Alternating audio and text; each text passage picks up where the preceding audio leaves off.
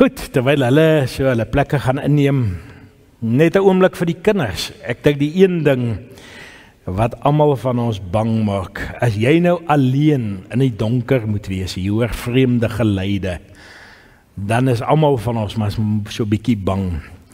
En so vertel hulle een van die Indiane stamme van Noord-Amerika As die kinders so op die ouderdom kom wat hulle nou die seuns wanneer hulle amper begin man word, dan het dit stam 'n ritueel. Dat hulle hierdie kind blinddoek en in 'n donker bos gaan sit vir 'n hele nag lank. En as hy so in die donker bos gesit het en al daai geluide gehoor het en baie bang raak, as hy nou dapper genoeg is, dan sit hy daar tot die oggend tot die son opkom. En hulle sê as hulle dan dan kom die manne en haal die blinddoek van sy oë af. En wat dan gebeur is dan sien die ouma sy pa het die hele aand by hom gesit.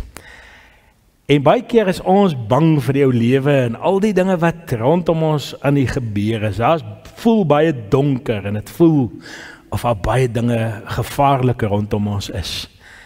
En in vanoggend se preek wil die Here eintlik sê maar ek is by jou. Ek help jou. Ek beskerm jou. So mag jy ook vanoggend iets beleef van in die donkerte is die Here by sy kind en wil hy ons help. Kom ons vra hy met ons praat.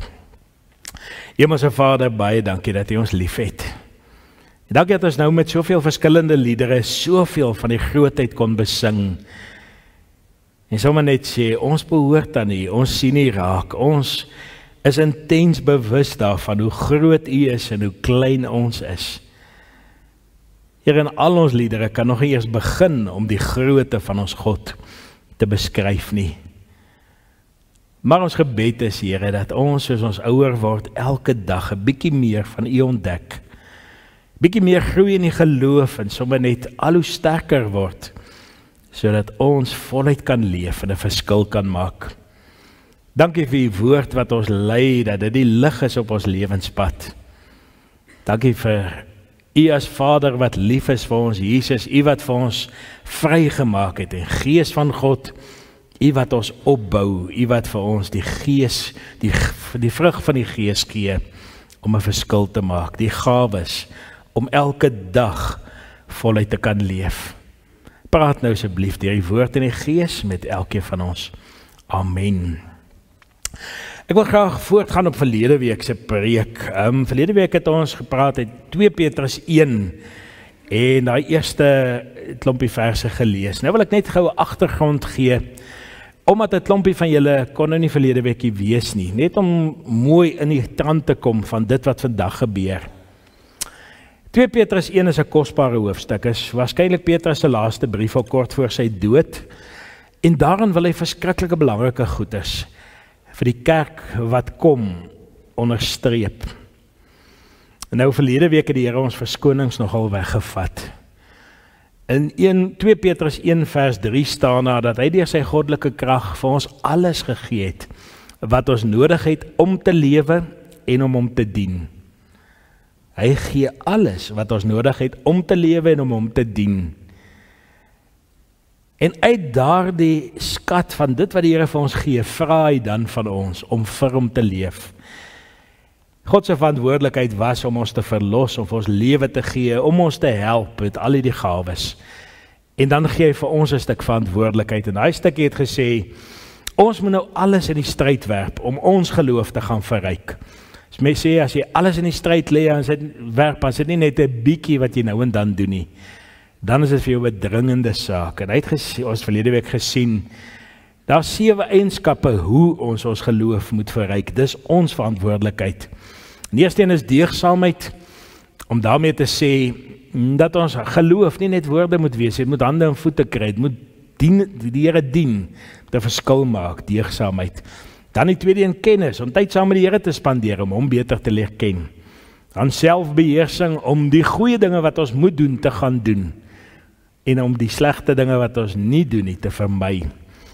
En dan moet dit aanhou in ons lewe met volharding om aan te hou om die regte ding te doen. Die verkeerde dinge te los, die goeie dinge te doen. Dit kweek vir jou 'n nuwe karakter, 'n nuwe lewenswyse. En dan die nuwe karakter is godsvrug, dat die vrug van die Here in jou lewe sigbaar word. En as dit nou nou se lewe besig is om te groei, dan groei ons liefde vir mekaar. Die omgee vir mekaar om te besef ons is deur die Here aan mekaar verbind. Soveel beelde in die Bybel wat daarvan praat, maar liefde vir mekaar. Groot opdragte wat Jesus vir ons gegee het. En dan besef ons ons hou dit nie net vir onsself, die Here die hele wêreld lief. En daarom as ons so groei in die geloof, dan groei ons liefde vir alle mense ook. Selfs die wat anders as ons is, anders as ons dink dat daai liefde vir alle mense uiteindelik getuig dat die Here se liefde in ons lewe tuis gekom het. Hoekom is dit belangrik? Die gedeelte het afgesluit deur te sê wanneer hierdie dinge in ons lewe is en dit groei, dan getuig dit dat ons op die regte pad is. Dan sal daar vir ons vrye en feestelike toegang wees tot die ewige koninkryk van Jesus. So dis verlede week se gedeelte net gewees om te sê die Here sorg vir alles. Die Here gee vir ons 'n verantwoordelikheid om te groei en hy begelei ons op die regte pad. En nou is die groot ding wat ons vanoggend wil gesels is, hoe weet ek is waar? Hoe weet ek? Hierdie is nie net mooi storieetjies van lank gelede nie. En nou gaan ons lees 2 Petrus 1 vers 16 tot 21 waar Petrus self getuig van dit wat hy persoonlik beleef het. Ons gaan in 2 Petrus 1 lees En so 'n bietjie in die middel van die preek gaan ons uit Matteus 17 ook 9 verse lees. Goed, hier praat Petrus van die heerlikheid van Christus, die boodskap van die profete. Petrus praat nou as een van Jesus se disippels, as 'n apostel wat baie baie naby aan Jesus geleef het. Hy sê toe ons aan julle die krag van ons Here Jesus Christus en sy wederkoms bekend gemaak het, het ons ons nie op versinsels of legendes verlaat nie. Nee, met ons eie oë het ons hom gesien in al sy majesteit. Hy het van God die Vader eer en heerlikheid ontvang toe die Allerhoogste Majesteit gesê het: "Dit is my geliefde seun, oor wie ek my verheug." Die stem uit die hemel het ons self gehoor toe ons saam met hom on, saam met hom op die heilige berg was. En dit het vir ons die boodskap van die profete nog meer bevestig. Hierdie boodskap is soos 'n lamp wat in 'n donker plek skyn. Julle sal goed doen as julle in sy lig bly totdat die dag aanbreek en die môre ster opkom in julle harte. Dit veral moet julle weet, geen profesie in die skrif kan op grond van eie insig reg uitgelê word nie, want geen profesie is ooit deur die wil van 'n mens voortgebring nie. Nee, deur die Heilige Gees meegevoer het mense die woord wat van God kom verkondig. Ons lees vir nou tot hier. Die een ding waarvoor ons almal baie versigtig is, is dinge wat te goed is om waar te wees. Die telefoon lui. Iemand probeer jou insleep by 'n skema wat maandeliks jou geld vir jou gaan verdubbel. Of jy kyk op die internet en jy soek 'n kar en jy sien hier is hom nou 'n pragtige een daar in Johannesburg se middestad. En hy het baie min kilos op en hy kos die helfte van wat hy by ander plekke sou kos. Daar's so baie dinge deesdae wat net nie die toets van die tyd deurstaan nie. En daar's dinge wat ons dadelik aanvoel. Hierdie is te goed om waar te wees. Ou moet versigtig wees. En wanneer ons die evangelie van Jesus hoor, is baie mense ook skepties. Hoe weet ons dis waar? Is dit nie dalk ook te goed om waar te wees nie? Kan dit regtig wees dat daar 'n hemelse Vader is wat jou op die naam ken? Wat jou beswil in gedagte het? Wat vir jou 'n nuwe lewe wil gee wat vir altyd hou? Hoe weet ons ons kan hierdie boodskap vertrou? Is dit nie soos baie mense sê net 'n stukkie mitologie uit die antieke tye, 'n mooi storie? Jy kan as baie soos Hulk en Wonder Woman en so aan hê. Is die evangelie nie dalk ook net 'n mooi storie amper die Marvel Comics uitgedink nie? Hoe weet ons? Ons bou ons geloof op die regte fondament. Wel ons luister vanoggend na die persoonlike getuienis van Petrus. En hy was baie bekend geweest aan sy eerste lesers. Hulle het hom geken, hulle het hom vertrou. Maar hulle het vrae gehad want daar was al reeds in hulle tyd baie dwaalleraars wat ander storieetjies kon vertel het wat hulle de mekaar begin maak het. En dis hoekom wat goed is dat ons ook net vir 'n oomblik kyk wie is besig met ons te praat as ons dan hierdie brief lees. Nou Petrus was op sy dag 'n doodgewone visserman daar langs die see van Galilea in die ou Romeinse ryk in daardie provinsie van hulle van Judea. Daar was al miljoene vissermanne oor die eeue heen in verskillende lande gewees. En die geskiedenis onthou byna niemand van hulle ooit meer nie. My die Petrus sou as 'n klein seentjie daar by hulle plek van bymekaar koms, die sinagoge so 'n bietjie godsdienstige opleiding gehad het van die God van sy vaders, van dit wat hulle as stam van Israel glo. En teen die ouderdom van 12 jaar oud sou hy sy bar mitzwa afgelê het, sou hy ook daai seremonie deurgegaan het waar jy as 'n man verklaar word in jou gemeenskap. Al die goeie sou hy gehoor het. Hulle was baie sterk om dinge te hoor. Hy het waarskynlik nooit self geleer lees of skryf nie. En sy hele lewe het bestaan uit visvang daar langs die see van Galilea. En as jy nou van die boot afklim, dan lees mense hy was getroud gewees. Of dit dalk nou 'n goeie ding was of nie. Jesus het op 'n stadium sy skoonma gesond gemaak, so hy het 'n vrou gehad. En Dit was Petrus se hele lewe gewees, visvang en dan sy huislike take. En in die proses kom sy jonger broer Andreas op 'n dag by hom en sê hier langs die see is 'n profeet wat mooi dinge sê. Kom ons gaan luister na hom. En Petrus het saam met sy broer gegaan om na Jesus te gaan luister. En iets het hom daardie dag aangegryp in die woorde van Jesus want die oomblik toe Jesus vir hom sê kom volg my Ek gaan jou 'n visser van mense maak. Het Petrus en Andreas alles dadelik net so gelos en saam met Jesus gegaan. En dit is baie interessant as mens so deur die evangelie lees, dan lyk dit of hulle regtig onder indruk was dat Jesus 'n besondere goeie rabbi was, 'n leermeester wat wonderwerke ook kon doen. Nou wonderwerke was nie vir hulle vreemd in hulle kultuur nie. Want hulle het by hulle sinagoge gehoor van die wonderwerke wat ons as die Ou Testament ken. Wonderwerke in Gideon se lewe wanneer hy die vliesie uitsit en die vliesie is nat gedou terwyl die grond droog is, die volgende dag andersom. Hulle het gehoor van wonderwerke in Elia en Elisa se lewens. Wonderwerke was nie vreemd vir hulle nie. Daarom as 'n profeet wonders kan doen, dan is hy dalk nog die volgende groot Elia van die tyd. Hulle was gehoorsaam, hulle het Jesus gevolg. 'n Goeie leermeester, maar op daai stadium was hulle nog nie heeltemal onder die indruk van sy goddelike aard nie. En toe op 'n dag het alles verander. En dis waarvan Petrus se hier teksgedeelte wat ons nou gelees het praat. Van toe hulle Jesus die dag sien vir wie hy werklik is. Wielen, dis een van die belangrikste dae elke van ons se lewe. Om te weet Jesus is nie maar net 'n stukkie legende van die ou tyd nie. Dat hy nie maar net 'n goeie mens was wat wonderlike dinge gedoen het 2000 jaar gelede nie. Die groot dag in ou se lewe kom wanneer jou geestelike oop gaan. Wanneer jy Jesus ontmoet in heerlikheid vir wie hy werklik is, die seun van God. Nou Petrus verwys na daardie dag op die berg en kom ons lees daarvan Matteus 17 se eerste 9 8 verse. Hierso staan 6 dae later het Jesus vir Petrus en Jakobus en sy broer Johannes saamgeneem en hulle op 'n hoë berg gebring waar hulle alleen was. Op hierdie stadium met Jesus hulle soos 'n gewone mens gelyk. Dan vers 2. Daar het sy voorkoms voor hulle oë verander. Sy gesig het begin straal soos die son en sy klere het wit geword soos die lig.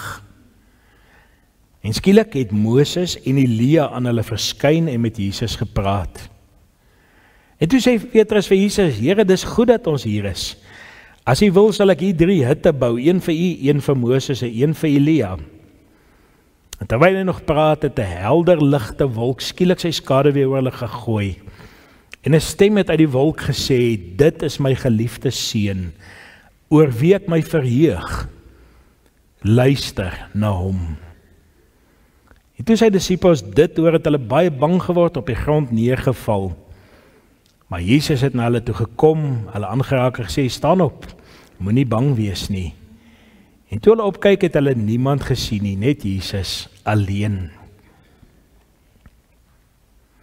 Daardie dag het Jesus saam met die kernleiers, die drie belangrikste van die leiers, deur die Hoëberg opgaan, het hulle 'n mens gesien wat saam met hulle opgaan. Dis hoe hulle Jesus leer ken het. En dan daar bo op die berg het die Here op 'n wonderbaarlike manier vir hulle gewys wie Jesus werklik is. Daar voor hulle oë het die ware Jesus bietjie na vore begin kom.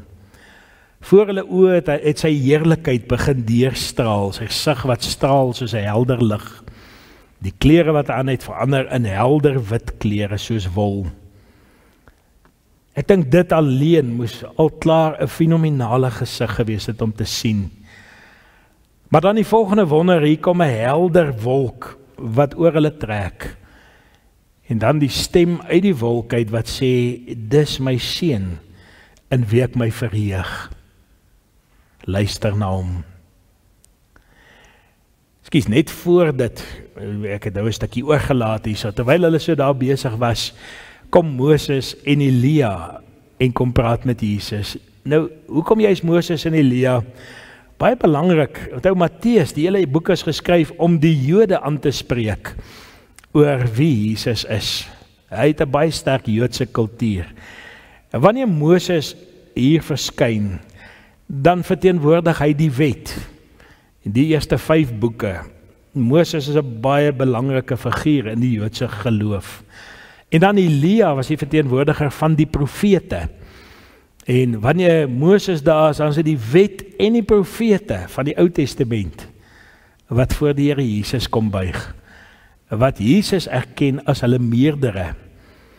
En dit sou vir die Joodse gelowiges al klaar dan nogal 'n baie belangrike boodskap gegee het. Petrus is so onder die indruk van wat hier gebeur het. Hy sê maar hier's iets groot aan die gebeur het ons nou iets van die goddelike beleef. Wanneer Moses en Elia twee geloofsreëse saam met Jesus is, dan moet ons net hier bly. Ek bou sommer 'n hutte vir julle. Hier bly ons. Maar dit was nie die doel van die Here nie. Jesus het net daardie oomblik gebruik om vir sy keier kernleierskap te wys wie hy werklik is. En van die ander evangelie staan daar dat hy op baie stadium vir hulle sê het hulle moet stil bly oor wat hulle gesien het. Hy moes eers aan 'n kruis sterf en dan in sy volle heerlikheid in sy tussen sy mense wees. Dan kom die stem uit die wolk wat sê dis my geliefde seun oor wie ek my verheug, luister na hom. En wanneer hulle daai stem hoor, dan val hulle in aanbidding voor die Here neer. Hulle was bang. As jy God in heerlikheid sien, dan besef 'n mens jy's klein en nietig en jy het niks om die Here te bied nie. Jy kom met leë hande na hom toe. Hoekom Jesus jy is hierdie drie disippels gekies? Petrus, Jakobus en Johannes. Hulle sou die kernrol speel na Jesus se opstanding, na sy hemelvaart om die kerk op aarde te vestig. Hulle moes duidelik weet wie Jesus is om met gesag daardie boodskap oor die wêreld te gaan uitdra was krities belangrik dat hulle verstaan wie Jesus is. En nou baie jare later lees ons Petrus se laaste brief, sy bedieningstyd is omtrent verby. Hy moet vir die volgende geslagte iets agterlos. En dan sê Petrus vir die kerk van alle tye ook vir ons wat 2 eeue later kom. Dit wat ons vir julle vertel is nie net storieetjies nie. Dis nie net mooi legendes van die ou dae nie. Petrus kom sê ons het hom gesien. Johannes het dit ook gesê in van sy briewe. Ons het hom gesien wie hy is. Ons het hom gevat. Hier sê Petrus, ons het die krag van die Here beleef. Jare later as hy terugkyk na die goed en sê maar ons het ook gesien hoe hy sterf. Ons het gesien hoe hy opgestaan is. Ons het gesien hoe hy hemel toe opgevaar het. Ons weet hy kom weer. Die krag van sy hemelvaart is in die boodskap, sê Petrus. Dit wat ons hier by Petrus sien is ook die fondament van ons geloof. Geloof is nie maar net 'n klein stukkie van jou lewe, 'n uur op 'n Sondag en 'n paar minute Bybel lees elke aand voor jy gaan slaap nie. Geloof is baie meer as om net in 'n kerkgebou bymekaar te kom. Hierdie geloof begin by 'n persoonlike ontmoeting met die lewende Here om Jesus in sy heerlikheid te leer ken. Om te weet hy seun van God, hy's soveel groter as ons. Soveel meer liefdevol, soveel allei wonderlike goddelike eienskappe wat hy met ons kom deel het. Ons het die Here Jesus ontmoet. Dis hoekom ons hier is. Dis die honger in ons hart om hom beter te leer ken. En dan sê Petrus, maar ons het dit vir julle in die woord opgeteken. En daar ja, Petrus sê dit het vir ons die boodskap van die profete nog meer bevestig. En hierdie boodskap van wie Jesus is, is soos 'n lamp wat in 'n donker plek skyn. Julle sal goed doen as julle in hierdie lamp se lig bly totdat die dag aanbreek en die môre ster opkom. daarmee te sê maar Jesus kom terug, dan gaan almal in sy lig lewe. Tot dan is dit donker tye in hierdie ou wêreld en ons almal weet hoe donker dit soms is. En daarom het die Here vir ons sy woord gegee, die getuienisse van wie Jesus is. Dat ons hom beter kan leer ken, dat ons hom kan vertrou. Hierdie is 'n belangrike toets vir die suiwer evangelie. Die geloof dat Jesus die Here is soos bevestig deur sy woord. Die ervaring en die kennis wat ons van Jesus opdoen, dis die fundament van ons geloof. En dit word dan met 'n pragtige beeld beskryf, die van die lamp. Daarmee gaan Petrus terug na 'n ding wat Johannes ook mooi gesê het. Wat die Johannes vir Jesus aan die wêreld bekendstel in sy evangelie, hy sê in Johannes 1 vers 4, in hom was daar lewe. En die lewe was die lig vir die mense. Die lig skyn in die duisternis en die duisternis kon die lig nie uitdoof nie. Dan vers 9 sê hy die ware lig wat elke mens verlig was aankom na die wêreld toe. Hy was in die wêreld. Hierdie wêreld wat deur hom tot stand gekom het. En tog het die wêreld hom nie aangeneem nie. Hy het na sy eiendom toe gekom en tog het sy eie mense hom nie aangeneem nie. En dan die pragtige vers 12, maar almal wat hom aangeneem het, Die wat aan hom glo het hy die reg gegee om kinders van God te word.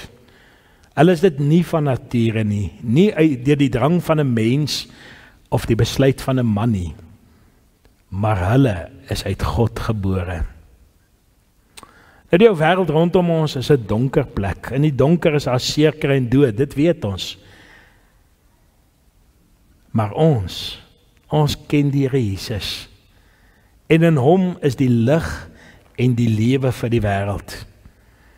En daarom kon Petrus vir sy eerste lesers skryf: Glo in hierdie Jesus wat ons persoonlik leer ken het.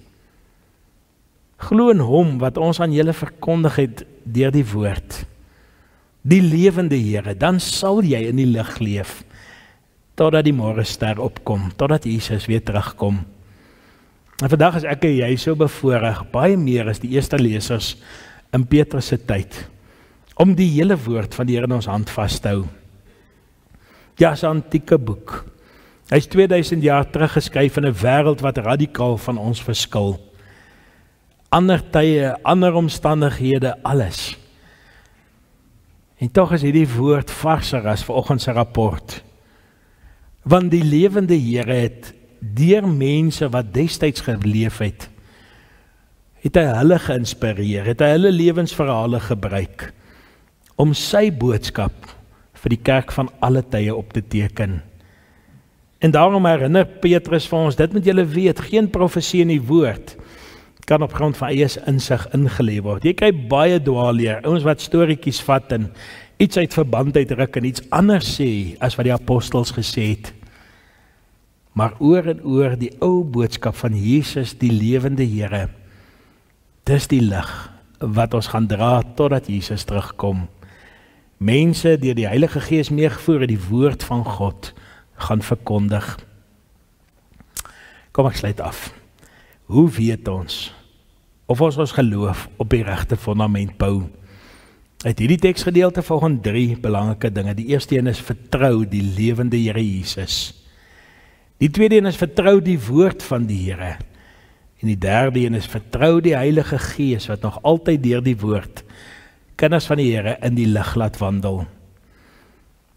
Met die vertroue in Jesus, en die vertroue met die woord, en die vertroue van die leiding van die Heilige Gees, sal ons die regte pad stap. En daarom het ons 'n verantwoordelikheid om met groter erns met die woord van die Here in ons eie lewe te werk. Meer en meer onder die indruk te kom van wie die Here is. Die Here Jesus wat die lig in ons lewe is. Die môre ster wat eendag weer opkom om die duisternis vir altyd weg te vat.